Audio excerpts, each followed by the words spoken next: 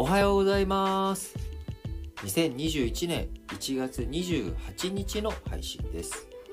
今日はですねあの新聞報道とかでちょっと今記事を見たやつなんですけれどもあのデジタル払い給与。お給料を今までま銀行振込でもらっていたものを、ま、デジタル払いで、え、払うっていうことを解禁していこうというような動き流れがあります。まあ長い目で見れば当然そのデジタル払いでの給与の払いっていうのは多分解禁されていくんだろうなと思うんですけれども今回まあそれに合わせてですね日本のこう給与の支払いが銀行口座での振り込みに変わっていったのってどれぐらいのタイミングなのかなということを確認しました。えもしかしたらご存知の方いらっしゃるかもしれませんけれども日本で、えー、銀行振込がに給与の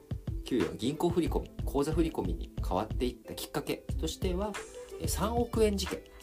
こう1968年かな？に起きた3億円強奪事件これで、えー、現金輸送車輸送車が狙われてしまったということで、まあ、今後これを防ぐという意味でも大量の現金輸送をやめようということで銀行振込に、えー、変わっていったという流れが。で実際にサービスとして銀行振込が可能になったできるようになっていったらその翌年1969年からで徐々に1970年代に採用されていき、まあ、1980年代90年代にかけて銀行振込に全面移行していったと